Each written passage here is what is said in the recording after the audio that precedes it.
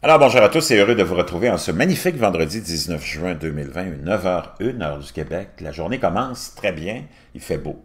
Ça nous fait oublier un peu les tracas quotidiens quand il fait beau. Hein. C'est ce qu'on attend de, de l'été. Tous des belles journées qui vont se succéder, confortables et chaudes.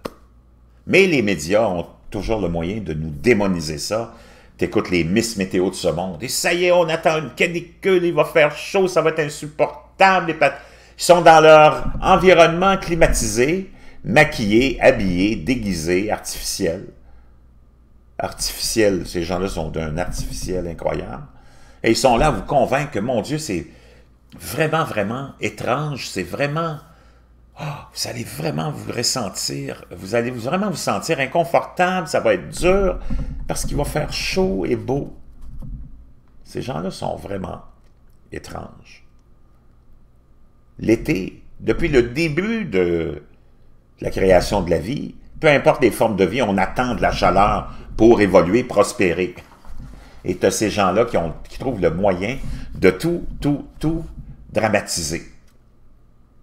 Et c'est ces mêmes gens-là qui vont, sur ces mêmes médias, ces mêmes réseaux de télé, l'hiver venu, te convaincre par des tonnes de publicité que tu dois absolument quitter le froid de l'hiver pour retrouver les douces chaleurs d'été qu'on t'a démonisées pendant que tu étais chez vous en pleine saison estivale. C'était n'est rien comprendre. Pendant ce temps-là, mon ami, ben, on va aller voir ce qui se passe réellement ben, c'est ça.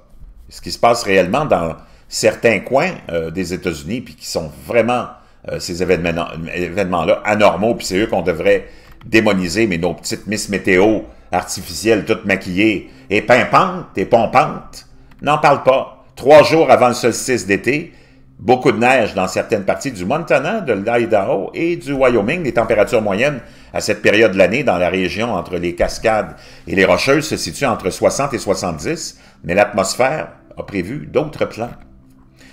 Mère Nature a le sens de l'humour. Mercredi, ça ressemblait certainement à, ce, à cela dans, certaines parties de l'Intermountain West, lorsque la neige a commencé à tomber, trois jours avant le solstice d'été, des chutes de neige abondantes.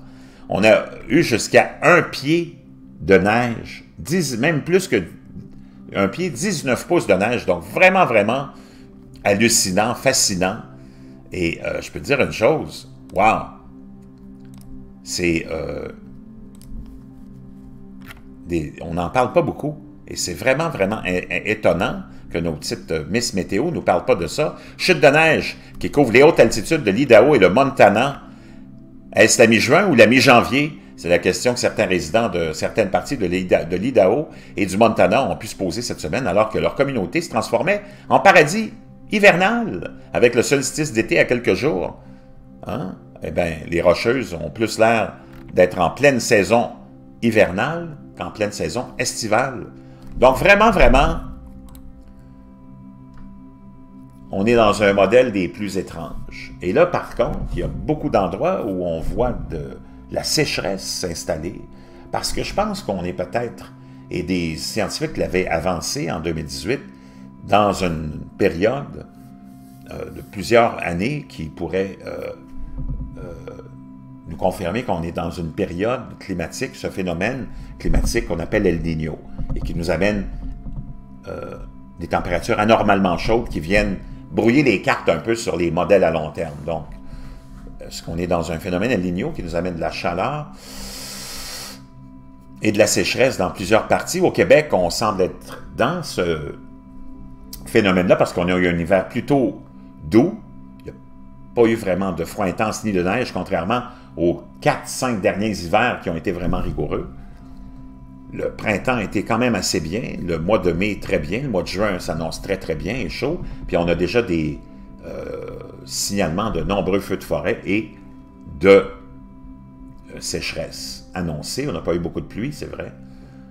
Et c'est peut-être ça qu'il faudra regarder pour les prochaines années.